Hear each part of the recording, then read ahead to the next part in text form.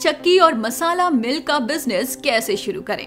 हर व्यक्ति चाहता है कि वो कोई ऐसा बिज़नेस करे जिससे वो ज़्यादा मुनाफा कमा सके। ऐसे में अगर आप भी यही सोच रहे हैं तो हम आपको ऐसे बिज़नेस के बारे में बताने जा रहे हैं, जिसे शुरू करके आप कम समय में ही ज़्यादा मुनाफा कमा सकते हैं। और ये बिज़नेस आटा चक्की यानी फ्लोर मिल बिज़नेस है। आटा और मसाला ऐसी चीज़ें हैं जो हर घर की ज़रूरत है। ऐसे में आजकल बाज़ार के सामान में मिलावट होने के कारण लोग इन्हें चक्की पर पिसवाना ज़्यादा पसंद करते हैं। या फिर वो किसी ब्रांड का आटा या मसाला इस्तेमाल करते हैं, जिससे कि मिलावट की गुंजाइश न के बराबर होती है। ऐसे में अगर आप खुद का आटा चक्की बिज़नेस शुरू करते हैं तो इससे आपको काफ़ी फ़ायदा हो सकता है। इस वीडियो में हम आपको बताएँगे कि खुद का आटा चक्की या मसाला मिल बिज़नेस कैसे शुरू करें और इसे शुरू करने के लिए किन किन ज़रूरी चीज़ों की ज़रूरत होती है। जगह का चुनाव। आटा चक्की बिज़नेस शुरू करने के लिए आप एक ऐसी जगह को चुने जहाँ आपका सारा सामान और मशीनें अच्छी तरह से रखी जा सके। अगर आप छोटा सा आटा चक्की बिज़नेस शुरू करते हैं तो उसके लिए आपको एक छोटी सी दुकान की ज़रूरत पड़ेगी, जो कि 200 से 300 वर्ग फीट की होनी चाहिए। इसके अलावा अगर आप एक ब्रांड बनाना चाहते हैं तो उसके लिए आपको कम से कम 2000 से 3000 वर्ग फीट ज़मीन की ज़रूरत होगी।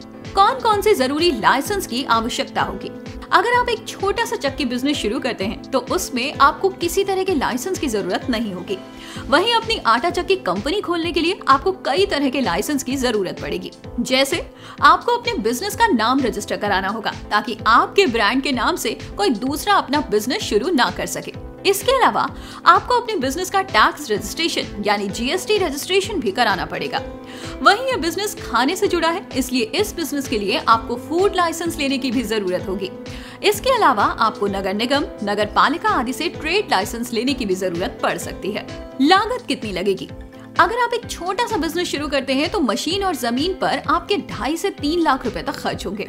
वहीं अगर आपके पास खुद की अपनी जगह है तो आपके ज़मीन या जगह के पैसे बच जाएँगे और आपको केवल मशीन खरीदनी पड़ेगी, जो कि तीस से पचास हज़ार रूपए तक की मिल जाएगी। वहीं एक ब्रांड बनाने में मशीन, जगह, कर्मचारियों, लाइसेंस, अनाज आदि पर आपके 15 से 27 लाख रुपए तक लग सकते हैं। मुनाफा कितना होगा?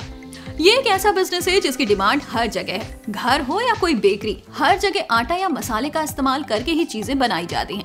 ऐसे में इस बिज़नेस को छोटे स्तर पर शुरू करने से आप महीने के हज़ारों रुपए कमा सकते हैं। इसके अलावा अगर आप अपनी कंपनी खोलते हैं तो फिर आप इससे महीने के लाखों रुपए कमा सकते हैं और अपने बिज़नेस को कई गुना आगे बढ़ाकर ज़्यादा से ज़्यादा मुनाफा कमा सकते हैं। तो आज के वीडियो में हमने जाना कि कैसे शुरू करें आटे और मसाले की मिल का बिज़नेस अगर आपको हमारा ये वीडियो पसंद आया तो लाइक और शेयर करें। और ऐसे और बिज़नेस आइडियाज़ के लिए हमें कमेंट करके ज़रूर बताएँ।